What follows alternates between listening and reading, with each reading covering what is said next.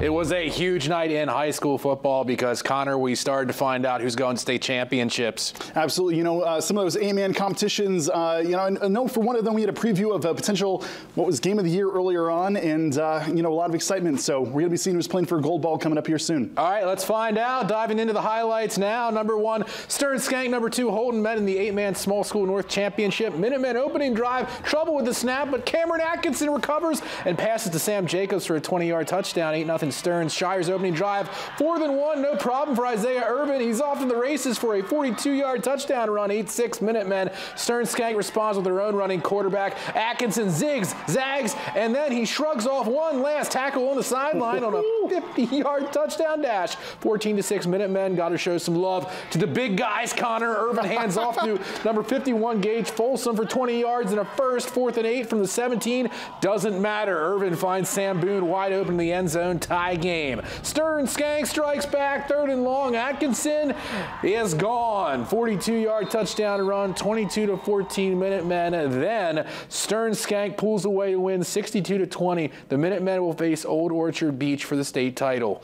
Now for the Mount Ararat Eagles taking on the Camden Hills Windjammers with a trip to the state championship on the line. And it is the Eagles who struck first with just over six and a half minutes left in the first. It's Dash Farrell with the game's opening touchdown. The Eagles would add another, but here come the Jammers. Ryder Lombardo with a dot to Isaac to Till. That makes it 12 to 6. Now Mount Ararat's defense really began to take control. Here Dash Farrell gets the interception with a chance to take it all the way to the house, but he won't quite make it. But after a run uh, like that, you got to give him the rock. Here they do. He goes into the end zone as they go up 18 to 6. Now the Eagles would extend their lead in the middle of the third as they give it to Nick Dowdy. And look out, they go up 24 to 6. Remember, last time these two teams played a major comeback win for the Jammers. So Camden Hills needing a spark in this one, and it looks like they could get one here.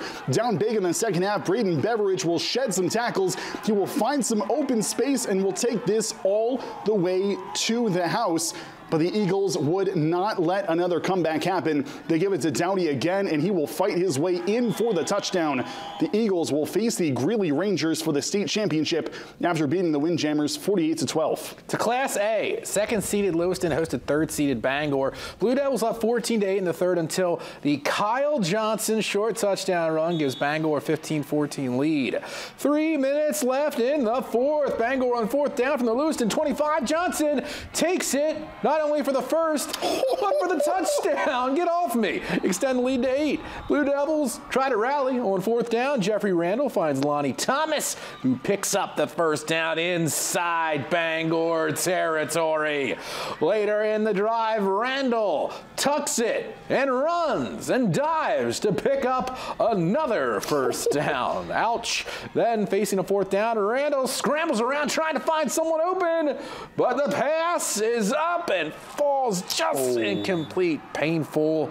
Bangor moves on 22 to 14 over Lewiston. Next up is the Portland Bulldogs. Now, Spencer Emerson, in his first season as Falmouth head coach, led the Navigators to the number one seed, taking on number five Messalonskee down 16 to 7 at the half. A fatal first few minutes for the third for the Eagles after a Ben Robbins TD catch in the first minute of the half. Trey Walker keeps it and goes 32 yards for the touchdown. They're up 30 to 7. Then Messalonskee would fumble, and Indy Backman scampers in from 16 yards away. Falmouth would score four touchdowns in the first seven minutes of the third and get five in the quarter. Falmouth advances 51 to 7 over Messalonskee. It's a rematch of the Class B North Championship last year between the Lawrence Bulldogs and the Cony Rams. To get things started, Preston Roy takes it out of the backfield and takes off. There he goes. Juke R2 dive into the end zone, open the scoring. Cony loves airing it out. Parker Moore in the deep shot to Ethan Demons. I saw him doing that at uh, summer camp on that field, and he's doing it all the way through the playoffs. That sets up this rushing touchdown for the Rams, who still trail after a missed two-pointer. Now, we know Roy can score, but how about this? Uh, more jukes, Connor. Ouch. Looks like a video game out here. That one hurts, and his buddy in the backfield, Colton Carter, gets some of the love when he takes it in himself. Put the Bulldogs up big going into the half. Lawrence moves on 28 to 12, and we'll see Falmouth in the North title game.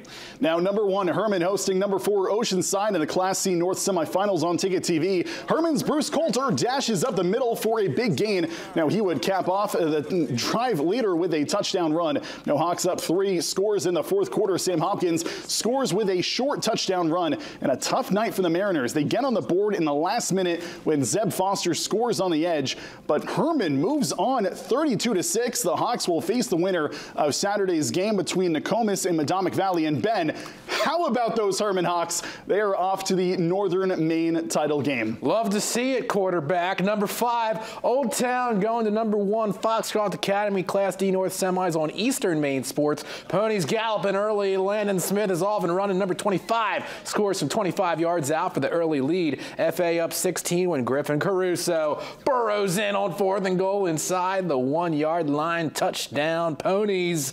Shut out the Coyotes 29 to 0. And we pick up with Winthrop and Dirigo right after halftime. Ramblers up 22 to 6. And that's courtesy of two first Cody Cobb touchdowns. And he is off and running again in this one for the touchdown. And Ben, don't blink, you'll miss it. Yes, that is Cobb again, his fourth touchdown of the night. And Winthrop is in full control now here in this one. Dirigo trying any effort of a comeback to get into the red zone with this deep time. Ooh, just inside the five. But a shot to the end zone won't connect. That is going to be picked off. That is going to be a Ramblers ball in this one. Now they give it right back to Dirigo, but deja vu, another end zone interception to wrap a bow on another Winthrop win. And the Ramblers will face Wells for the South Regional title. Foxcroft Academy awaits John Bapst for the, uh, or Winslow in the North Championship game. Lots of great football left, some big games coming up, including